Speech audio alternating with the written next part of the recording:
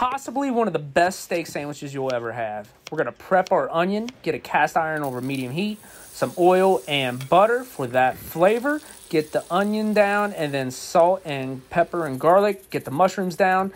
Time to season our meat. That is just salt and pepper, keeping it nice and simple. We're going direct searing right here. We're going three to four minutes per side. Time for the money sauce. That's mayo, mustard, ketchup, hot sauce, Worcestershire, garlic, salt, and pepper. Mix that up, place it in the fridge until it's ready. Three and a half minutes in, and just look at that sizzle. I'm telling you, it's absolutely money. We're to go ahead and remove that, give it a nice six minute rest, and right here it's real critical for a steak sandwich. Nice, thin cuts like you see right there. That medium rare is mmm, killing it. We're gonna sauce both buns. That's right, the top and the bottom with that money sauce, and now assemble. We're gonna add just layers of that thin ribeye steak with that provolone, onion, and mushroom blanket, and there it is. I'm telling you, give it a go.